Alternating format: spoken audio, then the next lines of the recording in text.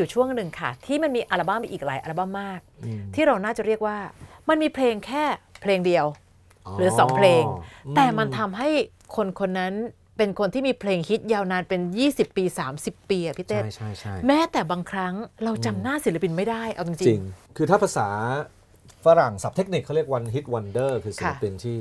มีเพลงเดียวแล้วโอ้โหดัดังงแบบเลยอะ มหัศจรรย์เลย แต่ว่าผมว่าอันนี้ก็เป็นผลพลอยจากการเกิดขึ้นของค่ายเพลงมากมาย เราทำงานเป็นดีเจเนี่ยเอ่อเราเห็นปกเราเห็นหน้าค่าตาเรายังพอรู้อ่านี่คือๆใครค่ะค่ะ คนฟังช่วงนั้นเนี่ยได้ยินเพลงก็นึกไม่ออกว่าเพลงใคร ค่ะ ได้ยินชื่อก็นึกหน้าไม่ออก เพราะยุคนั้นนี่หนักกว่ายุคนี้นะ ยุคนั้นไม่มี YouTube ไม่มี ใช่ Facebook ใช่ให้เซิร์ชหา ขนาดทุกค่ะวันเนี้ย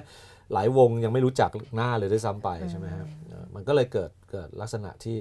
เพลงหนึ่งเพลงค่ะนำพาให้ศิลปินคนหนึ่งเนี่ยเอ่อกลายเป็นศิลปินดังได้ด้วยเพลงเพลงเดียวและหนึ่งค่ะในนั้นก็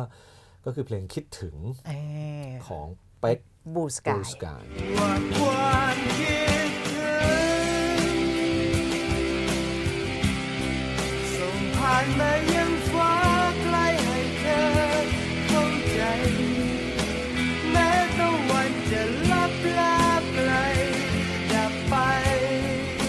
วันนี้คุณเป๊กบลูสกายมานั่งอยู่ข้างหน้าผมเนี่ยค่ะ ผมก็นึกไม่ออกว่าเขาคือเป๊กบลูสกายเหมือนกันพี่เต้น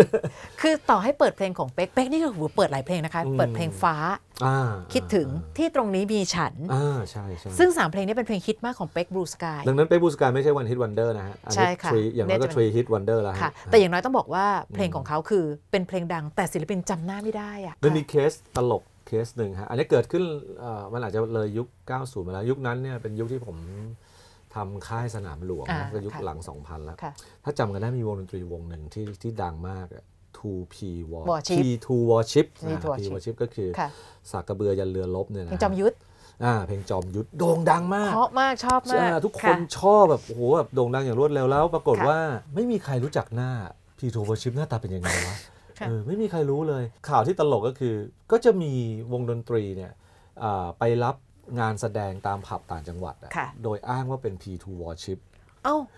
แล้วเจ้าของผับก็ไม่รู้ก็จ้างไปเล่นแล้วก็เล่นแล้วเออเล่นเพลงจอมยุทธเล่นพงแล้วเล่นได้ด้วยก็เล่นได้อยู่แล้วก็แกะเล่นอ๋อมาก็แกะเล่นมาเออมันก็เป็นวงดนตรีที่ที่เล่นดนตรีเก่งนะฮะค่ะ แล้วก็เนี่ยสามารถรับงานไปจนเอ่อแล้วข่าวมาถึงหูของไอ้ตัว P2 Worship เองแล้วแบบก็งงว่า เอ๊ะทำไมมีคนชื่นชมว่าวันนั้นเนี่ยไปเล่นที่สมมติพิษณุโลกแล้วแบบชอบมากเลยพี่โคตรมันเลยแล้ว ไม่เคยไปเล่นที่พิษณุโลกเลยอะไรจนจนไปเอ่อไปไปสืบสาวเราวเรื่องจึงรู้ว่าอ๋อมีคนสวมรอย ซึ่งผมเชื่อว่าเป็กบูสกายก็อาจจะเคยโดเคยถูนกลักษณะสวมอรอยย่างนี้ เพราะว่ายุคนั้นมันมันยิ่งหนักกว่ายุค P2 Worship อีกแล้ว P2 ค่ะ Worship ค่ะนี่ยังเป็นยุคที่เริ่มมีโซเชียลมีเดียบ้างแล้วนะฮะค่ะฮะก็จุดเด่นของเป๊กบูสกายผมว่าเสียงเขานุ่มใช่ไหมฮะใช่แล้วก็ทางดนตรี ไพเราะเพราะพริ้งค่ะมาก มันมันเหมาะมากที่จะเปิดอยู่ในคลื่น easy listening มากมาก ๆ และเพลงก็ยังเป็นเพลงที่ยังสามารถฟังได้ถึงทุกวันนี้อะเพลงให้กำลังใจอย่างที่ตรงนี้มีฉันเนี่ยอืมมันก็เป็นเพลงอุ่นเออที่ผมลืมเพลงนี้ไปแล้วนะเนี่ยเออแต่พอมีอ้อยมีพูดขึ้นมาเออจริง ใช่ใช่ๆค่ะ เพราะฉะนั้นเราจะมีการเช็คตัวจริงใช่ไหมคะพี่เต้นคะว่า เฮ้ยเอเขาอคือันเนี้ยเป็กทีมงานบูสกยะขอให้เช็คบัตรประชาชนอะไรให้ให้พร้อมนี่มีถ้าคนเกิดมาแอบถึงวันอ้างงานขึ้นมาแล้วก็แบบว่าใครก็ไม่รู้ขึ้นมาเป็นเป๊กบูสกายค่ะเราจะได้เห็นเขาพร้อม ๆ กันในกรีนครับคอนเสิร์ตอีกสักหนึ่งคนแล้วกันในเบรกนี้ได้ครับเพลงฮิตถล่มทลายค่ะพี่เต้นประเทือง อยากจะ I love you คิดและทำให้ใจมันตื่นฝันแต่พอเธอหันมาตาประสานก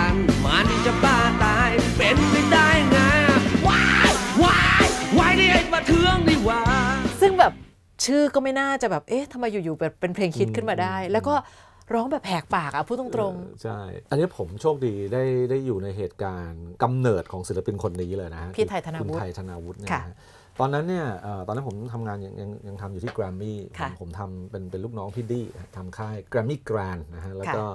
เอ่อตอนนั้นพี่นิกเพิ่งเริ่มทำค่ายจีๆจินนี่ค่ะจีนี่ยุคแรกเนี่ยมันจะเป็นร็อกแบบนี้นะฮะ ถ้าเกิดใครจำได้ศิลปินคนแรกของจีนี่คือสุเมธแอนด์เดอะปั๋งนะฮะแล้วก็พี่เมธพี่ปั๋งคือคือจีนี่ทำหน้าที่เป็นเหมือนสนามหลวงเป็นทุกวันเนี้ยค่ะคือเป็นค่ายที่ทำอะไรที่ที่ไม่ mass อะไม่ mainstream แต่ว่าพอทำไปสองสามคนแล้วปรากฏว่าแบบเอ๊ะมันในเชิงธุรกิจมันก็ต้องอยู่ได้เหมือนกันนะ ต้องขายสิเออมันมันจะอินดี้อะไรได้มันมันกินไม่ได้อะอินดี้ค่ะกินไม่ได้อะนะฮะ อยู่มาวันหนึ่งเนี่ยพี่นิกก็มานั่งคุยกับพี่ดี แล้วบังเอิญผมอยู่ตรงนั้นด้วยแล้วก็พี่นิกก็คว้า demo ขึ้นมาเป็นเทปคัสเซ็ตเลยฮะค่ะเฮ้ย เราพบแล้วว่ะ คือแบบพี่นิกแบบมาด้วยความดีใจ เป็น demo เพลงสองเพลงค่ะนะฮะแล้วเปิดให้ฟัง เปิดให้พี่ดีฟังอยู่ด้วย ผมก็โชคดีได้บังเอิญนั่งอยู่ตรงนั้นเลยได้ฟังไปด้วยสองเพลงนั้นเนี่ยคือเพลงประเทืองกับเพลงใช่เลยค่ะสองเพลงต้องสวยขนาดนั้น ต้องหวานขนาดนี้ ทุกอย่างกำลังดี คนนี้ใช่เลย อย่าสวยไปกว่านั้น อย่าหวานไปกว่านี้ เอาแค่ที่เธอมี แค่นี้ได้เลย ใช่เลย คือโดยที่ยังไม่รู้เลยว่า ไอ้หมอนี่คือใครอะแต่แค่ฟังสองเพลงเนี้ย คือทั้งพี่ดีทั้งผมก็บอกทันทีว่า เฮ้ยมันดังแน่เลยพี่คือเราก็พูดได้ในฐานะที่เราเป็นดีเจค่ะเราก็พอจะฟังออกว่าเฮ้ยเพลงแบบเนี้ยคนฟังน่าจะชอบค่ะคือประเทืองมันมีความกวนมันมีเซอร์ไพรส์ใช่แล้วมันมีความสนุกอยู่ในนั้นในขณะค่ะที่ใช่เลยมันเป็นเพลงที่มันเพราะตั้งแต่โน้ตแรกอะใช่ใช่เพลงบ้าอะไรขึ้นมาโน้ตแรกก็เพราะเลยอะป๊อปสุดเลยใช่พี่มันแบบค่ะใช่เลยแค่นี้ก็ catchy เรียบร้อยแล้วอะโดยยังไม่ต้องฟังต่อเลยเนี่ยมันมันมหัศจรรย์มาก ฟังเพลงแล้วก็เราก็ค่อนข้างมั่นใจแต่ว่าแล้วหน้าตาศิลปินเป็นยังไง คือ พี่นิกไม่มีกระทั่งรูปให้ดูอะคือแบบยังไม่ได้ถ่ายรูปยังไม่ได้ค่ะอะไรพี่นิกบอกเอางี้คืนนี้ว่างไหมเดี๋ยวพาไป ตอนนั้นถ้าใครเป็นวัยรุ่นยุค 90 จะรู้ว่าผับแห่งหนึ่งที่โด่งดังมากในกรุงเทพคือไรโนค่ะนะฮะคือใครก็ต้องไปเที่ยวไรโนกันเนี่ยคืนเนี้ยเขาเล่นอยู่ที่ไรโนอ่านนะฮะก็ไปก็ไปดูแบบโอ้โหแบบคนแน่นมากแล้วก็ มีวงดนตรีขึ้นไปเล่นวงหนึ่งผมจำไม่ได้ชื่อวงอะไรอะค่ะคือก็เป็นเหมือนเป็น house band ของที่ไรโนแหละมีมือแซกคือคุณโก้มิสเตอมิสเตอร์ร์แซแซ็กกแมแมนนใช่ค่ะแล้วมือกีตาร์ก็คือคุณไท ธนาวุฒิเนี่ยวันนั้นเราก็ได้เห็นว่า เฮ้ยโอ้เล่นกีตาร์เก่งมาก แต่สิ่งหนึ่งที่ทำให้อึ้งไปเหมือนกันคือคือหน้าตา คือแบบโอ้โห ผมก็บอกพี่นิกแบบพี่ไม่มีราศีความเป็นศิลปินเลยพี่ คือดูแล้วแบบเออ ก็เหมาะเป็นมือกีตาร์ backup อะ คืออันนี้ก็พูดแบบตรงไปตรงมากับพี่ค่ะเขาว่าแบบเออมันดูไม่ มันดูมันไม่ shine อะมันมันมันเหมือนมันไม่เหมือนเวลาเราเห็นคนที่จะโด่งดังอะมันเห็นค่ะปึ้งแล้วมันต้องมีราศีอะไรบางอย่างค่ะแต่ว่าเอ้ยของคุณไท ธนาวุฒิเนี่ยไม่มีว่ะแต่แวบหนึ่งในนั้นก็เริ่มคิดว่า เฮ้ยป๊อดโมเดิร์นด็อกเนี่ยเป็น reference ของเป็นพี่เรื่องเต้เล่นเลยอะว่าแต่ป๊อดโมเดิร์นด็อกก็ประมาณนี้เลยนะ ก็ตัวประมาณเนี้ยตัวเล็กๆ แล้วก็ไม่ได้มีความหล่อเหลาเลยอะแต่ว่า มันไม่ใช่เรื่องนั้นแล้วยุคนี้มันหมดใช่ยุคแล้วใช่มันมัค่ะนมันถึงวันที่แบบเราวัดกันที่ฝีมือค่ะวัดกันที่สิ่งนั้นเราก็เลยโอเคพี่ให้กำลังใจพี่นิกไปว่า น่าจะดังแล้วก็จำได้ว่า พอปล่อยเพลงประเทืองมาโหดังมาก ทันทีที่เปิดปึ้งมันก็ประเทืองนี่เป็นฟีโนเมนอลเลยอะค่ะมันทำให้แบบ อย่างแรกเลยที่เกิดขึ้นก็คือ ผู้ชายทุกคนที่ชื่อประเทืองเนี่ยถ้าจะเดินไปเปลี่ยนสะเทือนชื่อค่ะฮะสะเทือนไปหมดเลยเพราะค่ะเพราะคำว่าประเทืองมันไม่ได้แปลว่า มันมีความหมายใหม่เพิ่มขึ้นมาใช่อ่ามันมันแปลว่ากระเทยบวกเข้าไปค่ะด้วยสองก็คือยุคนั้นมันคือการเข้าสู่ยุคของ MP3 ค่ะนะฮะแล้วถ้าเกิดใครจำได้ใครไปเดินพันทิปเนี่ยมันจะมีแผ่น MP3 ที่รวมเพลงฮิตแล้วออกมาทุกสัปดาห์เลยนะฮะใช้ชื่อว่าประเทือง ที่ใช้ชื่อว่าประเทืองเพราะว่าครั้งแรกที่แผ่น MP3 ซีรีส์เนี้ยวางแผงเนี่ย เพลงประเทืองคือเพลงที่ดังที่สุด ดังนั้นเนยเขาก็ต้องแบบจั่วหัวตัวใหญ่ๆ ว่าแผ่นเนี้ยมีเพลงประเทืองนะเพลงประเทืองจะตัวใหญ่มาก แล้วนอกจากค่ะนั้นก็มีเพลงอื่นๆอีกอีกร้อยเพลงอะไรก็ว่าไปค่ะ เสร็จแล้วมันก็เลยทำให้แบบทุกคนเวลาไปตามแผงตอนนั้น ก็จะเดินหา มีแผ่นประเทืองไหมมีแผ่นประเทืองไหมเขาบอกมีแผ่นประเทืองก็เอาไปค่ะพอเขาจะออกซีรีส์ที่ 2 รวมเพลงฮิตอยู่ต่อไปเขาก็เลยแบบด้วยความที่คนถามหาแผ่นประเทืองเยอะค่ะเขาเลยตั้งเป็นชื่อประเทือง2แล้วมันก็จะมีประให้มันต่อเนื่องกัน ซึ่งไม่มีเพลงประเทืองนะ ก็จะเป็นเพลงฮิตต่อๆมาอ๋อแล้วต่อมามันก็เป็นประเทืองนู่นประเทืองนี่ประเทือง3 4 5 6 7 มาโหซีรีส์นี้มา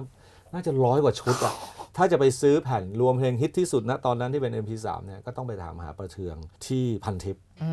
มมันประทับประสบความสำเร็จมากจนคุณเสกโลโซต้องแต่งเพลงพันทิปอะอ๋ออ๋อด้วยความงอนว่าแบบเนี่ยทุกคนไม่ซื้อของจริงแล้วเนี่ยไปซื้อไปแผ่นซื้อของผีแผ่นประเทืองด้วย ใช่ที่ที่พันทิปกันนะคะ และเราน่าจะได้ฟังเพลงนี้บนเวทีกรีนคอนเสิร์ตด้วครัยบนะคะ ถึงที่บอกว่าครั้งนี้เป็นความพิเศษที่สุดที่ความทรงจำของพวกเราในทางร็อกจะกลับมาอยู่บนเวทีเดียวกัน เป็นกรีนคอนเสิร์ตครั้งที่ 22 ค่ะ และ The Lost Lock Song นะคะ 78 กันยายนค่ะ